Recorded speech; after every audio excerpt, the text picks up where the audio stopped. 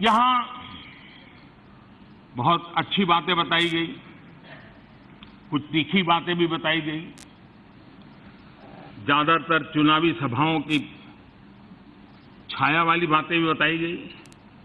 हर एक का अपना अपना एक एजेंडा होता है, उसके लिए मुझे कुछ कहना भी नहीं है। लेकिन यहाँ कहा गया कि हमारी ऊंचाई को कोई कम नहीं कर सकता। ऐसी गलती हम नहीं कर सकते हम किसी की लकीर छोटी करने में अपना समय बर्बाद नहीं करते हैं। हम हमारी लकीर लंबी करने के लिए ज़िंदगी खपा देते हैं। और आपकी ऊंचाई आपको मुबारक हो। क्योंकि आप इतने ऊँचे चले गए हैं, इतने ऊँचे चले गए हैं कि ज़मीन दिखना बंद हो आप इतने ऊँचे चले गए हैं कि आप जड़ों से उखड़ चुके हैं।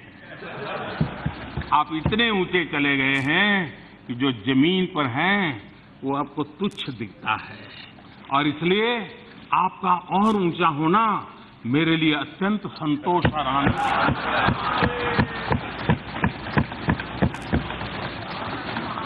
और मेरी कामना है कि आप और और ऊँचे बढ़े।